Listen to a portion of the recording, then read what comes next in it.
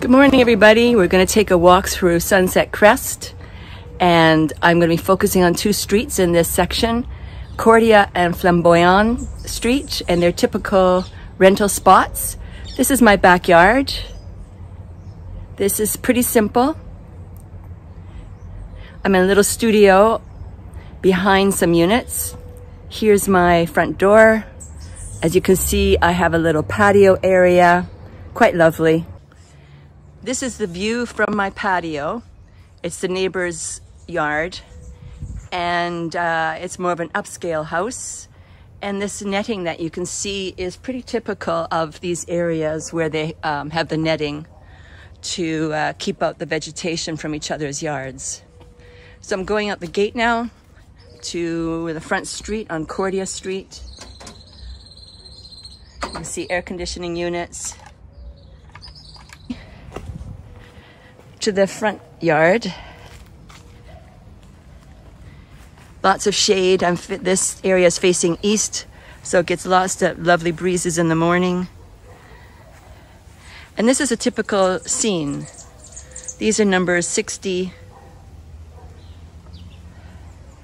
to 57, and my unit is in the back there, 57A. It's unusual. It's only a studio with one room, but I like that. And there's my entrance.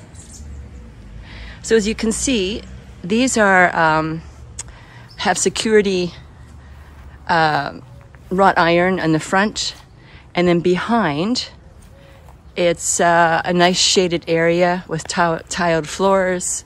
Each unit is different depending on how the owner has decorated it. And this man here has lived in his unit for 30 years. Lots of furniture out there. It's a permanent, lovely outdoor space. So that's a typical four unit complex. And these units are affectionately called bird cages. But don't let the appearance deceive you. They're quite modern inside, depending on how everybody has um, redecorated them or upgraded them.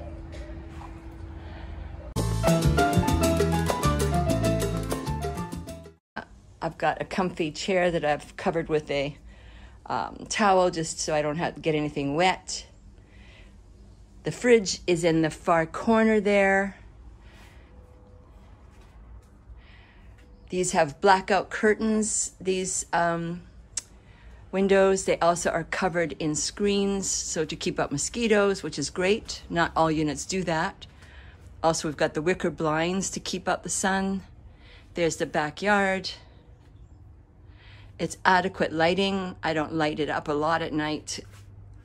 But there we go. So there's the kitchen area through that cutout wall. It's very functional and it works for me. My bedroom is it has the two windows so I open all the windows at night and I go to sleep listening to the tree frogs. It's just lovely.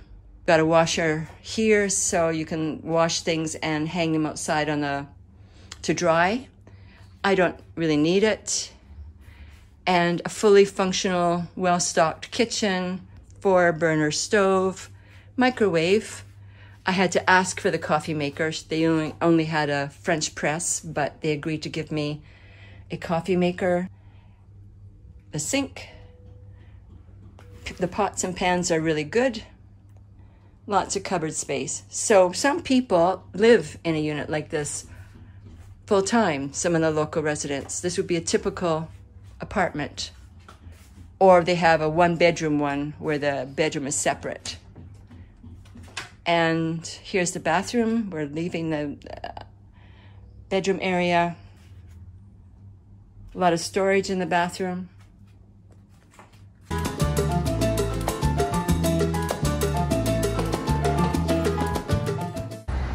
Now we're getting into some more up, upscale private homes.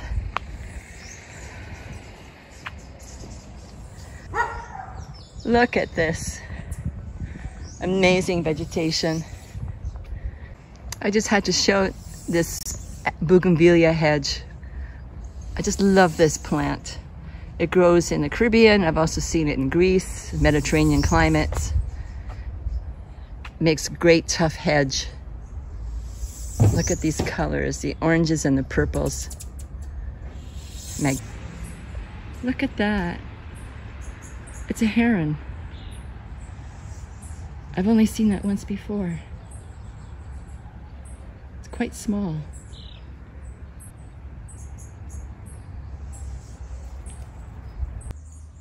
All right, so now I'm continuing my walk along Cordia Avenue, and really it's only a one minute walk, but because I'm stopping and starting it, it seems a lot longer.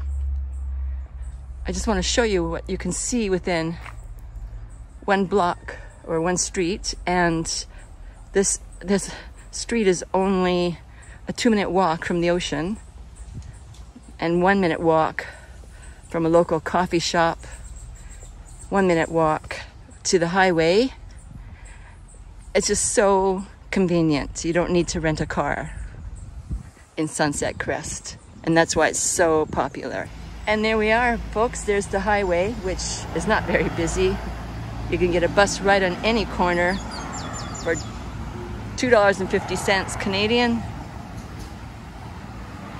and go to Speightstown to the north and Bridgetown to the south.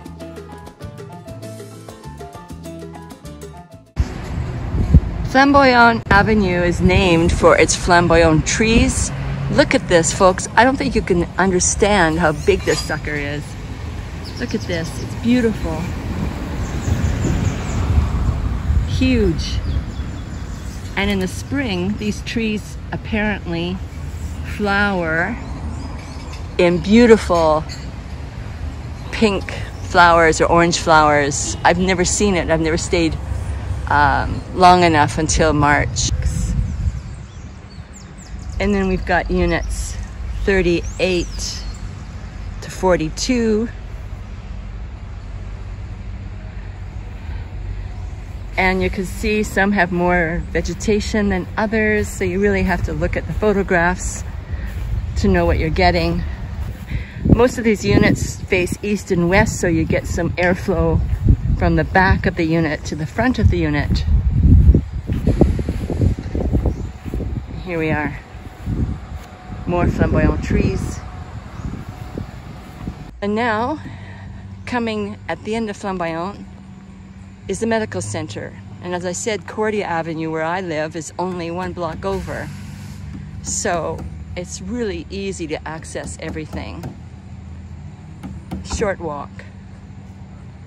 That's why it's so popular, especially with retired people. Everything's so convenient. So now we're at the corner of Flamboyant and Cemetery Lane, which is the main drag to the main road, the highway. And the traffic is picking up now. It's 3.30 in the afternoon. And a yellow bus is gonna go past.